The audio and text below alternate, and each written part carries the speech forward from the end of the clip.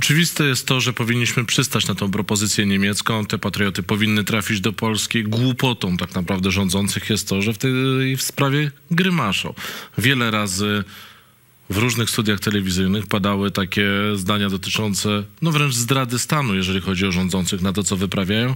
I dzisiaj, myślę, jest to bardzo, bardzo e, jasno widoczne, bo to jest po prostu nielogiczne. Jak, dlaczego pan Błaszczak, pan Kaczyński nie chcą bronić polskiego nieba? To skoro zdrada stanu, to widzi pan kogoś, kto powinien stanąć przed Trybunałem Stanu. Docelo, docelowo za tą sprawę oczywiście, że tak. Kto?